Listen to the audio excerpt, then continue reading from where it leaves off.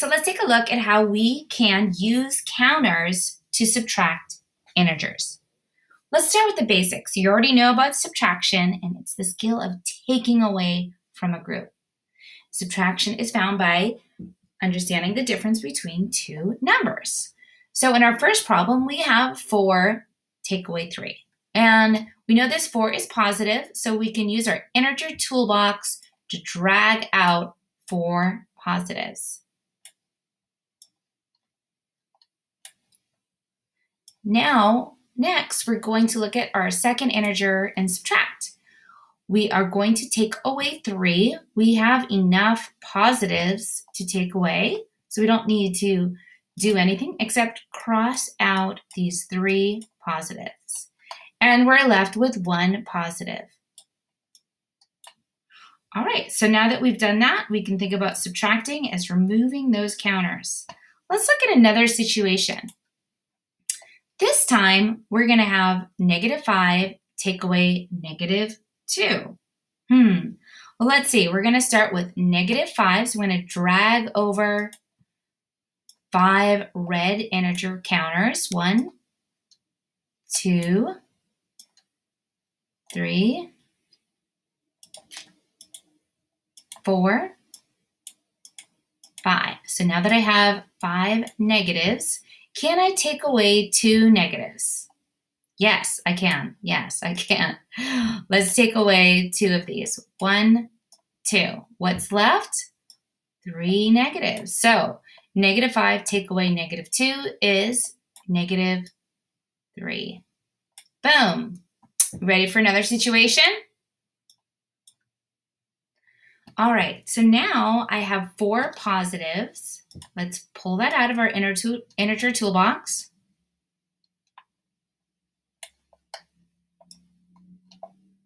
And I am going to take away six.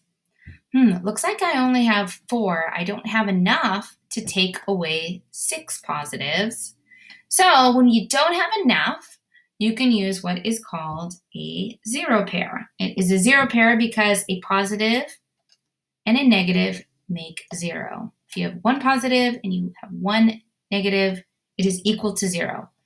So I'll do, add two of these so that way I have now six positives. See, I have one. I can take away. I have one, two, three, four, five, six. So I started with four. I took away six positive. What's left? Two negative. And that makes sense. So Imagine going to the store with only $4 and you want to buy something that's six, that is six. You might need to borrow from your parent or friend two more dollars. So now you owe $2. So our answer is negative two. Okay, let's continue. This time we're going to start with you got it, negative 8. So I'm going to drag over negative 8 counters. So three, four, five, six, seven, eight, and I'm going to take away 4. Hmm, this isn't negative 4, and I don't have any positives. So remember, we can always use a zero pair when we don't have enough.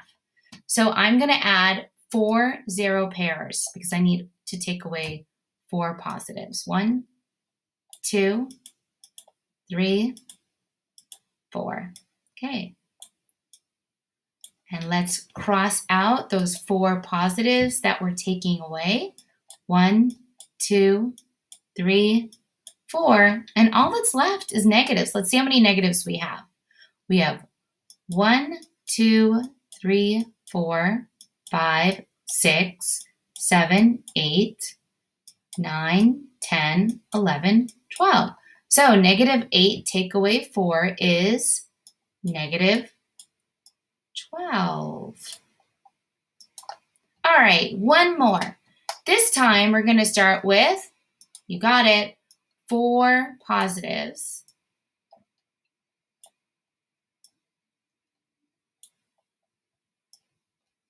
And I'm going to take away negative 2. I don't have any negative 2's here, so I'm going to have to add, that's right, two zero pairs. There's one, and there's two. Now I can take away two negatives.